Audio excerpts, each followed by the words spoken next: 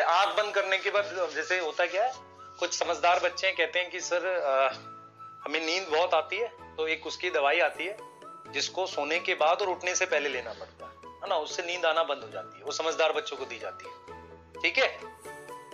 हाँ।